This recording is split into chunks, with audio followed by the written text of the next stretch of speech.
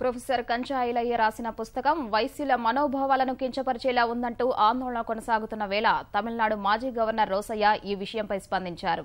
రాజకీయాల్లో భిన్నాభిప్రాయాలు ఉండడం సహజమని అభిప్రాయాలు ఒకటిగా లేనంత మాత్రాన ఒకరినొకరు విరోధులుగా శత్రువులుగా భావించాల్సిన అవసరం లేదని వ్యాఖ్యానించారు. సందర్భాల్లో ఒక అభిప్రాయం వెలుగుచ్చిన వారితో నేను ఏకీపించకపోవచ్చు అంత మాత్రంతో నాకు ఆయన విరోధి కాదు. శత్రువు కాదు. అలా సర్దుకుపోవాలి. మరి ఆయన ఏం మాట్లాడింది నాకు ఎగ్జాక్ట్గా తెలియదు మామూలుగా కూర్చొని మాట్లాడుకొని సర్దుకుంటే బాగుంటుంది.